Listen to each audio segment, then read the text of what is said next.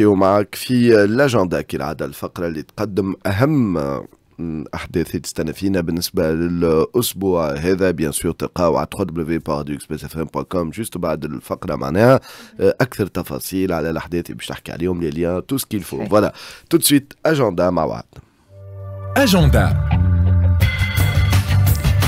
البداية وسيم باش تكون بالدورة 11 لصالون المؤسسة salon de l'entreprise 2024 اللي باش تكون على نهارين 20 21 نوفمبر تحت شعار انطلق استثمر بفضاء قصر المعارض والمؤتمرات الدولية بصفاقس. آه، الصالون هذا باش يكون بادرة من مركز أعمال صفاقس ووكالة النهوض بالصناعة والتجديد وغرفة التجارة والصناعة بصفاقس باش تشهد مشاركة أكثر من 130 عارض من المؤسسات الناشئة وهيكل المرافقة ودعم الاستثمار. والمؤسسات المالية والمنشآت اللي يتصل نشاطها بمناخ الأعمال والمحيط الرقمي والتكنولوجي للمؤسسة ويلقاو تفاصيل أكثر على www.salondel'entreprise.tn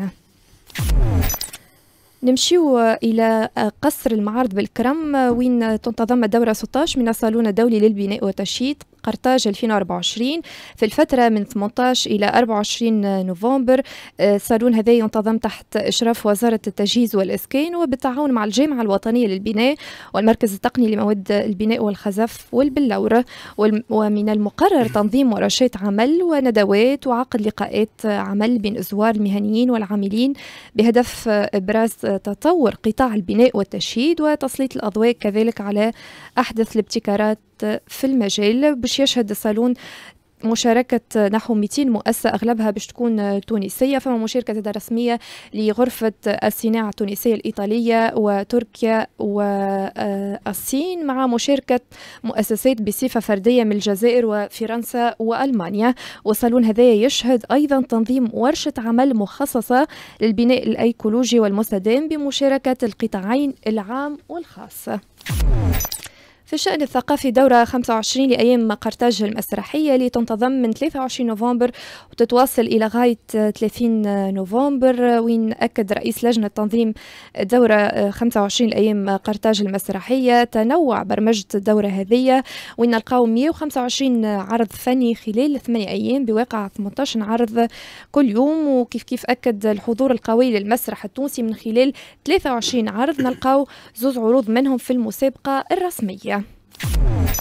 نمشيو إلى معرض الكيبيك للهجرة والإندماج Salon de l'immigration et l'intégration Québec باش يكون اليوم 18 و 19 نوفمبر بقصر المؤتمرات بمونريال تحت شعار vivre, travailler, étudier وين في كل عام يجتمع أكثر من 13 ألف شخص لاستكشاف الفرص والخدمات الأساسية اللي تسهل الاندماج بالطبيعة في منطقة الكيبيك. وهي فرصة لاستكشاف عالم الإمكانيات والفرص باش نلقاو 270 عارض وعديد الفرص للانتداب والتوظيف ونلقاو تفاصيل أكثر عبر الموقع salonemigration.com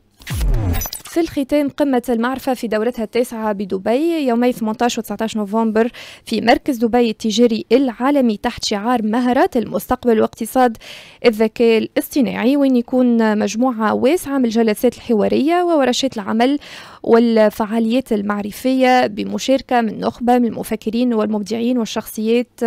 في مجالات كما قلنا التكنولوجيا الاقتصاد والذكاء الاصطناعي والتعليم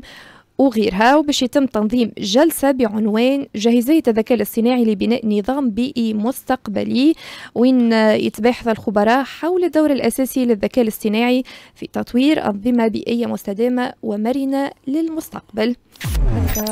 وصلنا لآخر اجندا وسيم نلقاو أحداث أخرى على الصفحة نتاعنا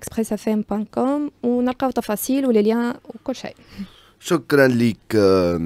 www.expressfm.com موقعنا وصفحاتنا في مواقع التواصل الاجتماعي. يعطيك وعد كانت هذه